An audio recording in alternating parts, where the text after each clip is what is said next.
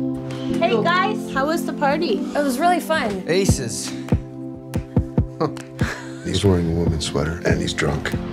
Well, he didn't drive drunk and he's home before curfew, so.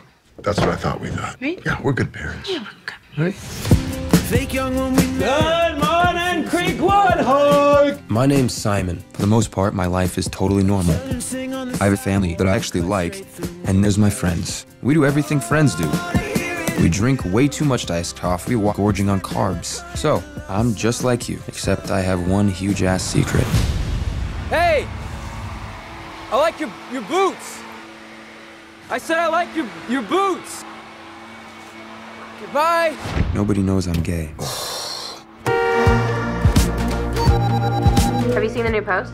About the closeted gay kid at school. What? Who do you think it is? Can I call you back? Dear Blue, I'm just like you. This was a mistake. It's nice to know there's another guy at school with the same secret. When did you first realize?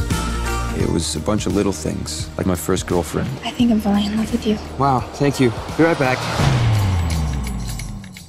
Wasn't my proudest moment. Sometimes I think I'm destined to care so much about one person it nearly kills me. Me too. I'm done living in a world where I don't get to be who I am. I deserve a great love story. And I want someone to share it with.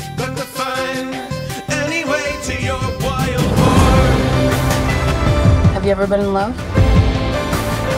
I think so. These last few years, it's almost like I can feel you holding your breath. I'm supposed to be the one that decides when and where and who knows. That's supposed to be my thing! Disclaimer. This is about to get romantic as F. You're not into Abby, are you? She's cute, but she's just not really my type. Mm. Not because she's black. I love black women. Not like, you know, I have a thing for black women. I just, I just, I just love all women.